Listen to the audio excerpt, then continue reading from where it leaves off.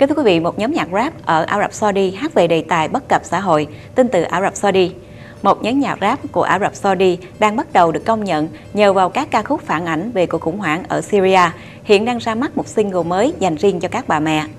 Theo giọng ca chính của nhóm là Hassan Asori, hay còn gọi với cái tên là Crazy Rap cho biết, ca khúc nói trên có tựa đề là Mother's Teardrop và đã được các thành viên trong nhóm thu âm tại một phòng thu ở Riyadh Nhóm có tên là Tux Unit đã được thành lập vào khoảng năm 2010 với mục tiêu là thay đổi thế giới, đặc biệt là hát rap về các vấn đề trong xã hội Ả Rập nói riêng và toàn thế giới nói chung.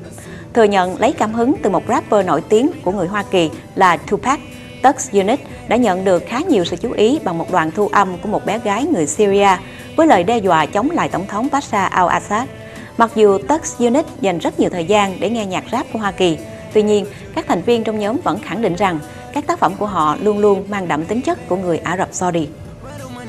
this flower in my hand Asking you to be mine, and love is all I can And I promise that I won't let you down. Out of backstabbing. Dragging you to pain, baby, I swear that it won't happen Again and again. With love and care I'll handle Baby girl in my life, your life.